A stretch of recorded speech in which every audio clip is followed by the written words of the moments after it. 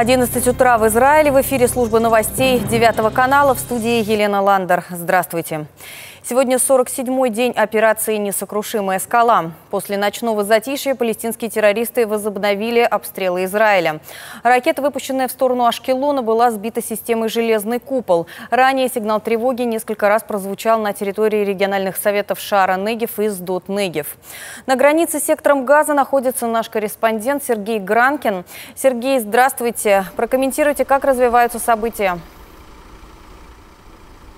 Доброе утро, Лена. Ну, последний час прошел достаточно спокойно после тревоги в 10 утра, когда ракета была сбита над Ашкелоном. Палестинцы не стреляли. Израильская авиация при этом продолжает действовать. Мы слышали взрывы и видели и в районе Бейт-Ханунда, Бейт-Лакия и Саджаия. Э, по всей видимости, авиация продолжает отыскивать и уничтожать позиции ракетчиков, э, пусковые позиции и позиции минометчиков, потому что главную опасность вот здесь, при фронтовой полосе, представляют как раз минометные обстрелы, э, которые не сбивают железный купол и и времени подготовиться к этому обстрелу практически нет, как это показал вчерашний трагический инцидент в поселке. Э, кстати, вот армия здесь на въезде в этот поселок, где погиб четырехлетний Даниэль, э, выставила пост военной полиции и объявила этот район закрытой военной зоной. Ну, классический пример размахивания кулаками после драки. Вчера мы здесь были, здесь все было открыто. Вот только что еще один взрыв в районе Бейт-Хануна. Авиация продолжает работать. Но ситуация здесь по-прежнему такая достаточно напряженная. Лена? Спасибо за информацию. Продолжайте следить за развитием событий. Мы с вами сегодня еще свяжемся обязательно.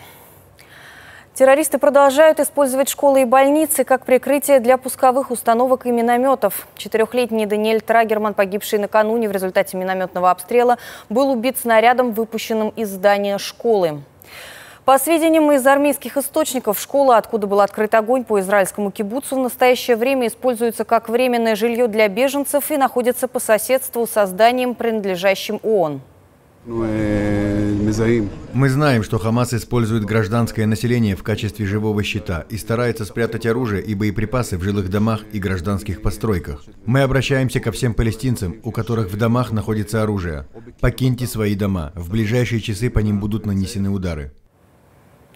Глава Политбюро Хамаса Халид Машель в интервью агентству Yahoo News признал ответственность своей организации за похищение и убийство Эяля Ифраха, Нафтали Френкеля и Гиляда Шаера.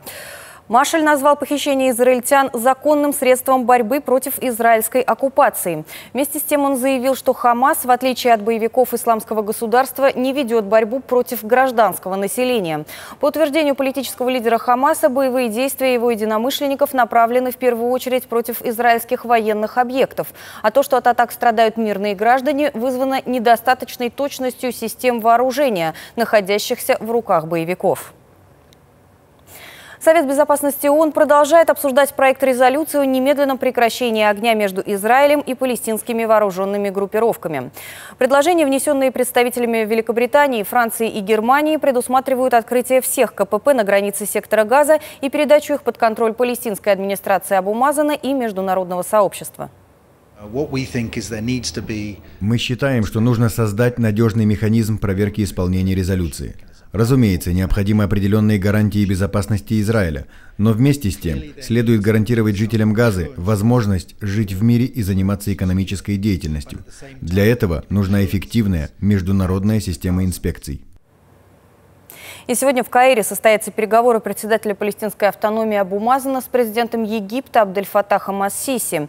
Ранее Абу Мазан встретился с представителями исламского джихада и Народного фронта освобождения Палестины, убеждая их принять египетскую инициативу.